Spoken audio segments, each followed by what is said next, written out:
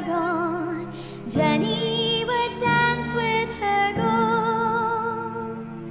The ones she had lost, and the ones she had found, and the ones who had loved her the most.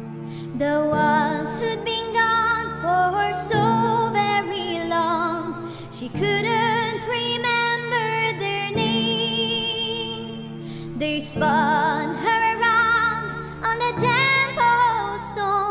spun away all her sorrow and pain, and she never wanted to leave, never wanted to leave, never wanted to leave, never.